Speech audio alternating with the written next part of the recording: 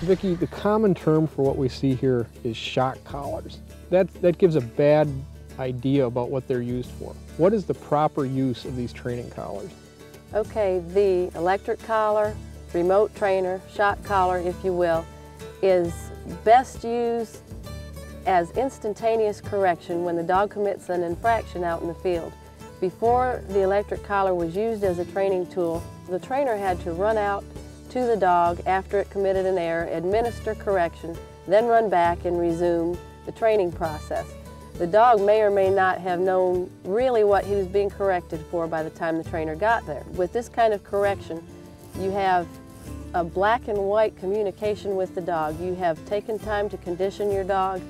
He understands why he is being corrected because you have already taught him how to do it properly. And that's the key, right, is that you don't use the collar for correction until the dog already knows what it's supposed to do.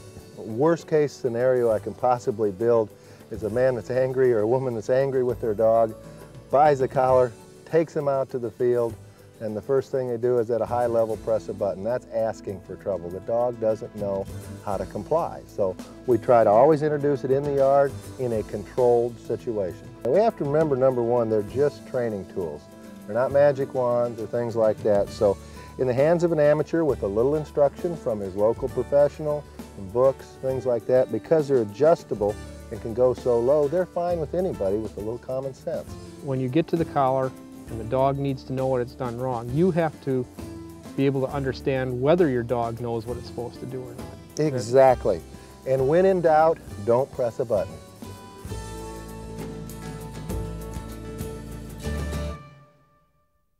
Like any athlete, even the best hunting dog can benefit from drills designed to maintain and improve upon their skills. This is Shady Lane Sadie II, senior hunter, or just plain Sadie to us. She's five and a half years old and full of energy. In just a few weeks, she'll be starting her sixth waterfowl and upland bird season. It could be our best and most productive ever. If everything goes as planned, we'll hunt in more than a dozen states together. Sit. As far as hunting dogs go, Sadie can just about do it all. She can mark and retrieve multiple birds down. She's marked as many as five of them when we've been hunting. And if she doesn't see a bird down, she's trained to take hand signals all the way to the spot where I marked it down. This doesn't happen for any dog overnight. It takes hours and potentially thousands of dollars worth of training. And once your dog has it, it doesn't mean he or she can just sit in the kennel and be ready to perform on a moment's notice.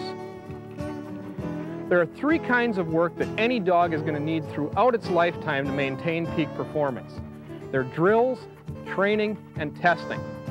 Each is different, but each is equally important. Now, it may seem like a step backwards for a dog that's fully trained to be doing drills, but nothing could be further from the truth. Drills reinforce the basics, and basics are the foundations on which all new skills are built. Come on, girl, good girl. A drill from which every dog can benefit from time to time is simply working on on-lead or off-lead commands like sit, stay, come, heel, and down. Since Sadie is trained to handle, a drill we do often involves laying out a pattern of dummies and her taking the proper hand signals to the dummy I decide she should pick up. For drills to be effective on a fully trained oh. dog, you need to demand perfection here. The dog knows what it's supposed to do and should be expected to perform drills without fail. Anything less actually will set the dog back because it starts to understand that it can get away with improper actions. Training for the experienced dog is a bit harder to describe. Basically, it means setting up situations which expand on what the dog has learned in the drills. The purpose is for the dog to learn new skills. Because you're introducing new concepts to the dog, this is where you're teaching the dog what you expect of it. Every dog is likely to stumble or mess up somewhere along the way. You must make each mistake a learning opportunity while keeping the dog enthusiastic. Remember, in training, you're teaching, not disciplining. Finally comes testing. It's putting your dog in new situations. They're similar to, but not exactly the same as the concepts that you trained on.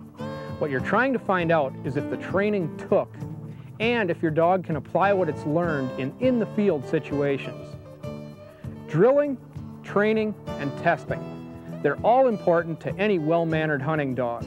And you know the best part? You get to spend more time with your dog. Good girl, Sadie. Good girl. Yeah.